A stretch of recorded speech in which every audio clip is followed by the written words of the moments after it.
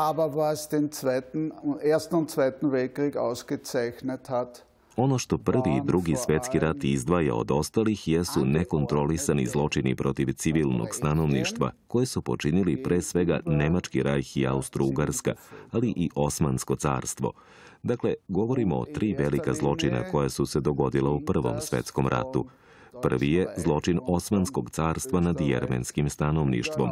Zatim masakr koji su počinili pripadnici carske austrougarske vojske nad rutenima i srpskim stanovništvom i zločini nemačke vojske tokom marša kroz Belgiju 1914. godine i u severnoj Francuskoj.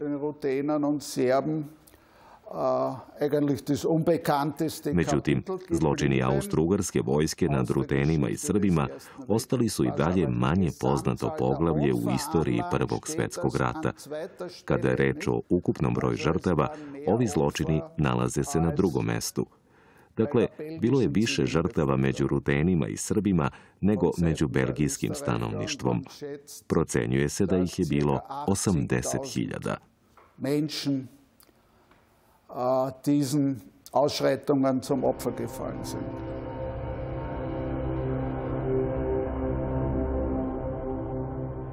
Nepoštovanje pravnih normi i ljudskih vrednosti bilo je karakteristično za imperijalne zemlje u to vreme, pogotovo za Nemački rajh i Austro-Ugarsku.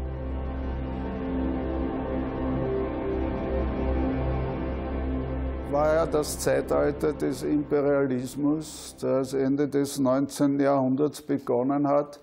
To je bilo doba imperializma koje je započelo krajem 19. veka, doba u kom su velike imperijalne sile kolonizovale države Afrike i Azije, smatrajući tamošnje stanovništvo niže vrednim. Pripadnici bele rase sebe su postavili na sam vrh hijerarhije ljudskog roda. Dakle, to nije bilo nešto što su izmislili nacional-socijalisti. Ideja o rasnoj superiornosti nastala je još u 19. veku i od tada se razvijala. Tokom ustanaka naroda u kolonijalizovanoj Africi i pre Prvog svjetskog rata nemački kolonijalisti, kao i Englezi u Indiji, počinili su teške zločine. To znači da je tada svetom vladala rasistička i socijal-darvinistička ideologija i u toj kategorizaciji ko je na vrhu, a ko na dnu lestvice, slovenski narodi našli su se pri dnu lestvice. Južnoslovenski narodi u nemačkom delu monarhije, kao i oni koji su živjeli u austrougarskom delu carstva, bili su jednako bespravljeni i marginalizovani. Sve je to imalo strašne posljedice u trenutku kad je prvi svjetski rat izbio i kad je, da tako kažemo, otvoren put takvoj zločinačkoj ideologiji.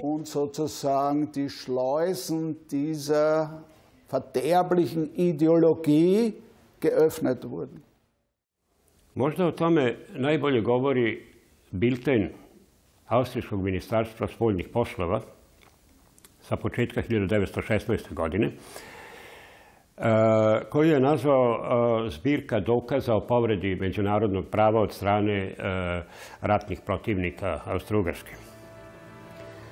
I u njemu je napisano da se ta Austro-Ugarska od strane Antante i neutralnih zemalja kritikuje zbog postavljanja prema civilima.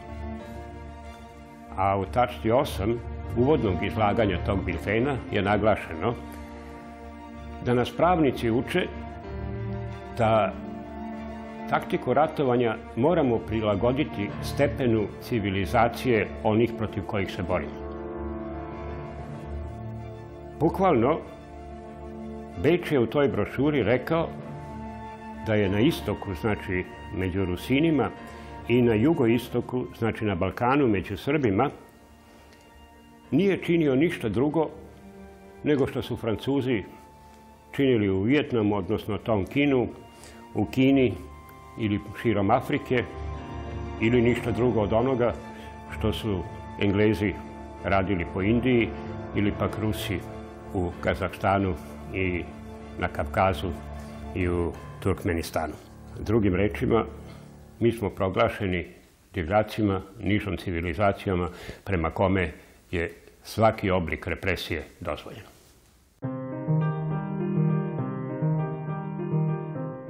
Austrija je bila jedina zemlja u Velikom ratu koja je raspustila parlament i pre nego što je rat počeo, marta 1914.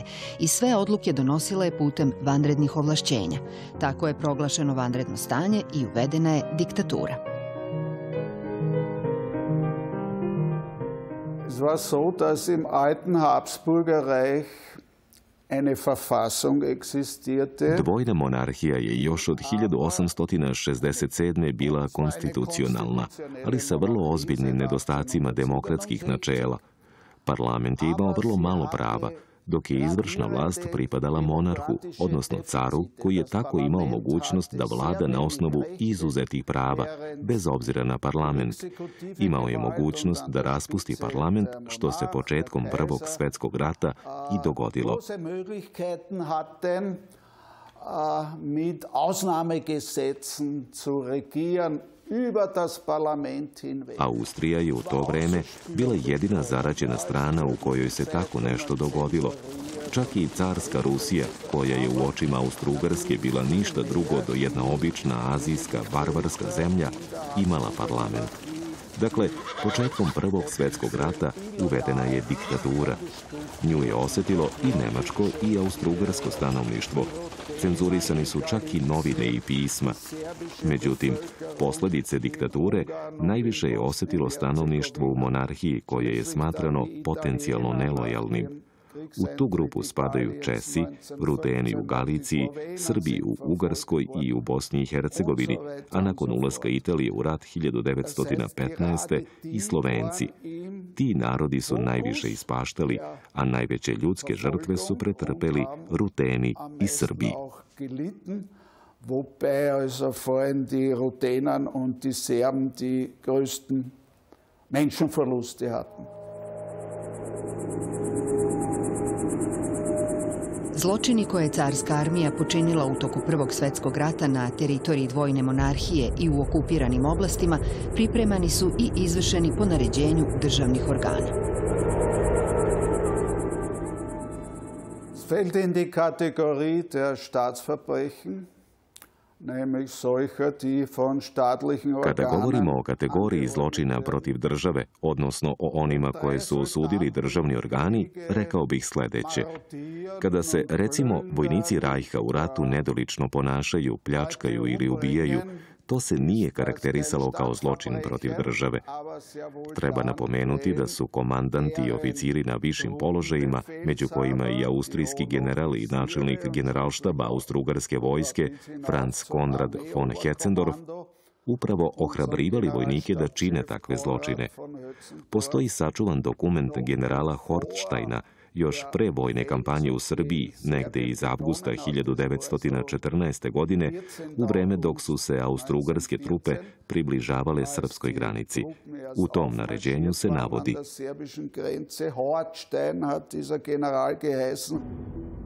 Rat nas vodi u neprijateljsku zemlju sa stanovništvom koje nas beskrajno mrzi, u kojoj je dozvoljeno kukavičko ubijstvo čak i nad pripadnicima višeg staleža, što je to pokazala Sarajevska katastrofa. Ubistva se slave kao junaštva.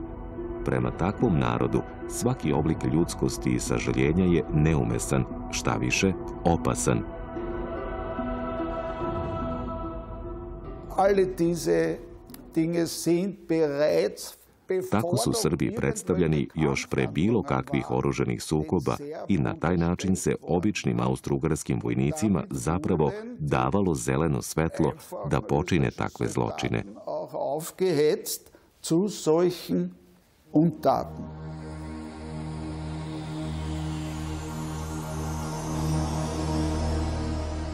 Na meti austro-ugarske soldateske našao se i manastir Fenek u Jakovu kraj Surčina.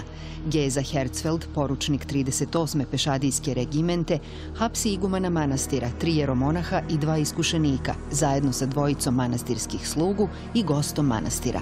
Razlog davanje Srbima tajnih znaka o kretanju austrijske vojske, čime su počinili veleizdaju. Devetorica optuženih ipak nisu streljani zahvaljujući intervenciji češkog vojnog sudije Jevrejna Jindriha Cermana. Činjenica da su izbjegli streljanje, oslobođeni su tek u maju 1915. nije odvratila mađarske vojnike da posle povlačenja srpske vojske opustoše i zapale manastir.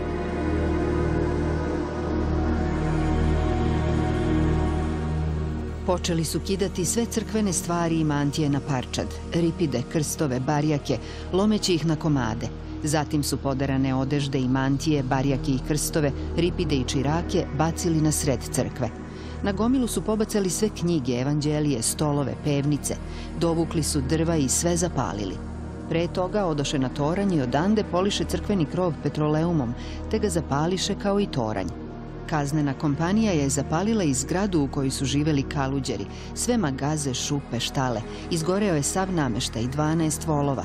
Rika stoke nadaleko se čula, ali pomoći nijotkud.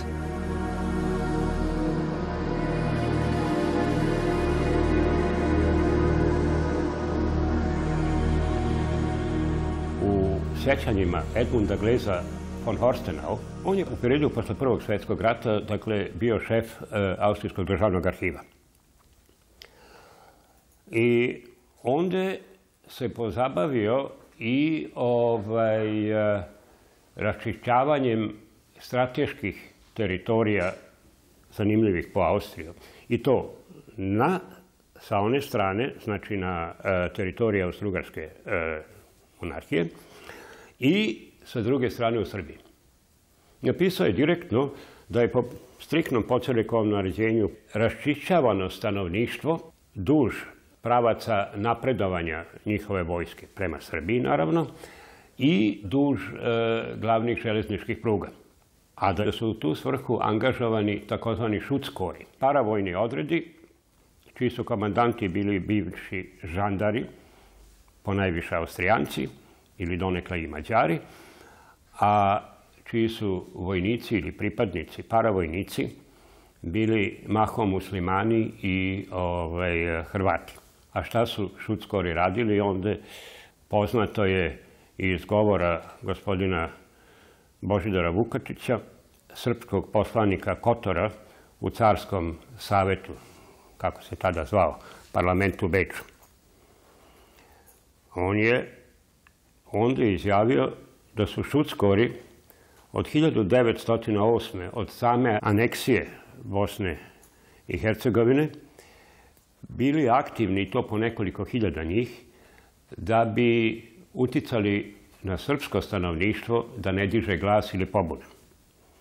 A da je njihov broj udvostručen ili utrostručen sa početkom rata. I upravo to je i Gles von Horstenau dokazao, koji je rekao da je u roku od nekoliko nedelja ovaj, broj šutskora podignut na 11.800.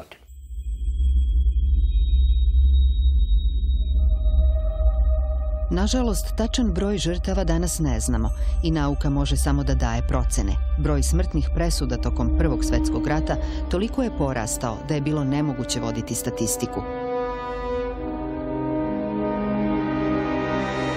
Većina smrtnih presuda nije donesena na osnovu regularne zakonske procedure i od strane suda, nego na osnovu ovlašćenja koje su imali austrijski oficiri da sve osumnjičene po sobstvenoj proceni težine njihovih prekršaja ili zločina bez suđenja odmah streljaju ili vešaju.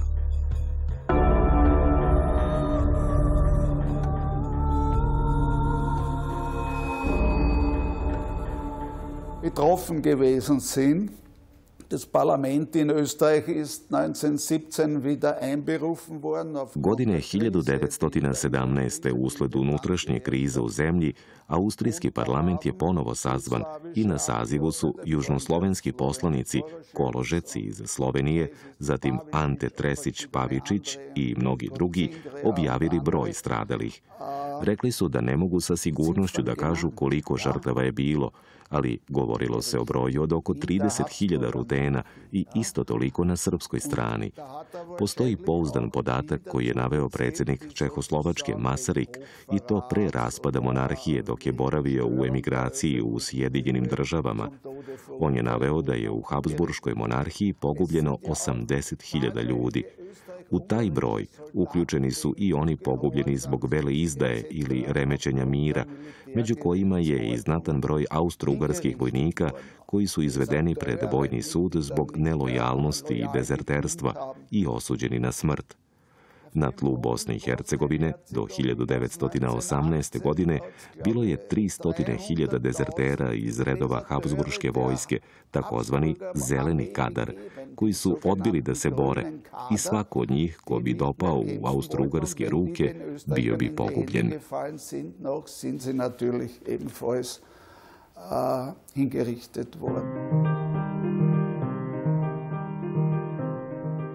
Versajski ugovor i Saint-Germainski sporazum iz 1919. pored imenovanja novih država i pitanja ratne reparacije, pozivali su prvi put da se krivica i ratni zločini istraže pred Međunarodnim tribunalom. Versajski spiskovi osumnjičenih za ratne zločine, čije je izručenje Međunarodnom sudu bilo regulisano mirovnim ugovorima Antante i sila osovine, sadržali su 900 imena. Na vrhu nemačkog spiska nalazio se car Wilhelm II, dok su na austro-ugarskom spisku uglavnom bili oficiri. U Nemačkoj je pred Vrhovnim sudom u Leipcigu od januara 1921. do novembra 1922. vođeno 17 postupaka protiv osumnjičenih za ratne zločine. Na kraju je sedam lica osuđeno na kazne zatvora od šest meseci do pet godina. U novostvorenoj Republici Austriji pak nijedan osumnjičeni za ratne zločine nije osuđen. Es gab eine ganze Liste auch Postojao je spisak država priznatih od strane sila Antante kao vodeće vojne sile, među kojima su bile Čehoslovačka i Kraljevina Srba, Hrvata i Slovenaca, koje su zahtevale da im se ratni zločinci isporuče. Među njima su bila i dva generala.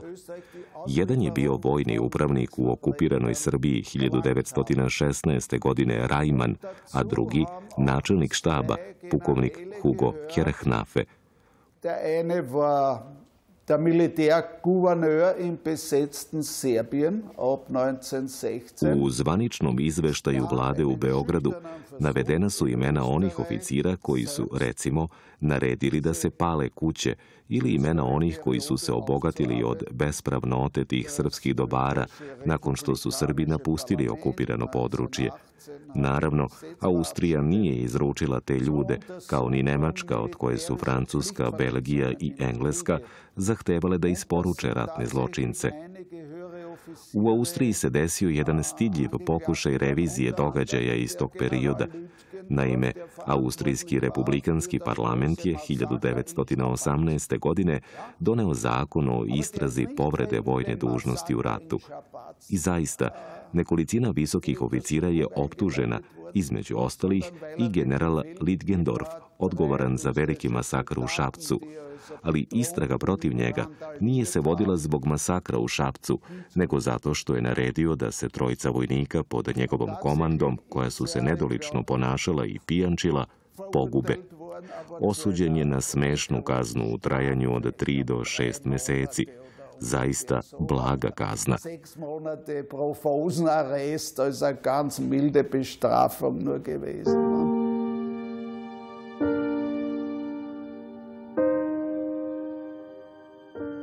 Sto godina kasnije svedoci smo revizije događaja iz Prvog svetskog rata i njihovih učesnika. Kazimir von Litkendorf, odgovoran za masakr civila u Šapcu, izveden je pred sud 1920. ali je odgovarao kao nadređeni samo zbog šenlučenja tri pijana vojnika. Zločini Franca von Hetzendorfa, načelnika generalštaba Austro-Ugarske vojske u Prvom svetskom ratu, nisu istraženi, uprkos obimnom dokaznom materijalu. Sačuvan je tako telegram iz 1914. u kojem je lično nalagao represalije nad civilima. Sahranjen je uz najveće počasti 1925. na Hicingirskom groblju u Beču. Godine 2012. njegov grob je dobio status znamenitog mesta od posebnog značaja. Iako je u Gracu 2014. pokrenuta inicijativa da najšira ulica u gradu ne nosi više njegovo ime, ime ulice je ostalo.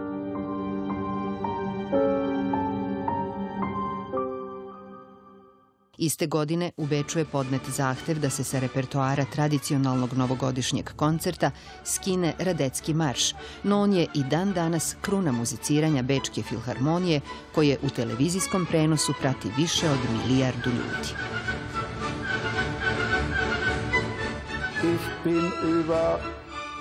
Možemo reći da je revizija prošlosti i danas, kao i pre, puna neistina. Ja sam jedini austrijski istoričar koji već 30 godina istražuje i bavi se ovim pitanjem. Das hat sich erst geändert eigentlich Stvari su se prvi put promenile na stogodišnjicu od izbijanja Prvog svetskog rata, dakle pre dve godine, tačnije 2014. Prvi put su organizovane izložbe na kojima su prikazane uznemirujuće fotografije sa prizorima vešanja iz zvaničnih arhiva i istorijskih muzeja. Istoričar Anton Holzer, koji se posebno bavi arhivskom fotografijom, latio se ove teme i napisao tri izuzetne knjige – Krunski dokaz verodostojnosti ovih događaja bile su zapravo te iste fotografije sa scenama vešanja koje su austrijski vojnici i oficiri sami napravili. Ponosno su pozirali ispod obešenih ljudi. To su naravno neosporni dokazi koje je Holzer naveo u svojim knjigama. Objavljena je i knjiga dvoje mladih historičara, Verene Morici i Hanesa Leidingera, koja se ozbiljno bavi ovom temom. Ali zanimljivo je da je knjiga odmah po izlasku obavijena plaštom ćutanja. U novinama su izostale recenzije, knjige ili rasprave. Knjiga je tako reći brzo gurnuta pod tepih. I zato moram reći da ovu temu i danas nerado otvaraju ne samo ugledni austrijski istoričari, već i čitava austrijska javnost. sondern ganz allgemein von der österreichischen Öffentlichkeit.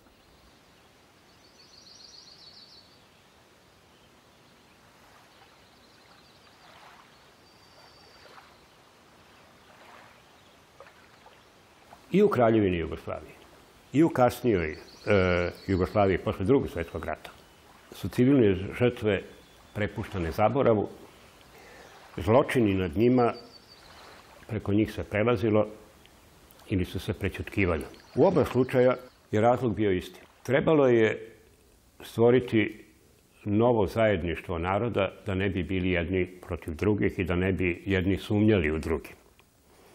Znači, ono što se nekad zvalo bratstvo jedinstvo. Ali bratstvo jedinstvo nikada ne može biti montirano.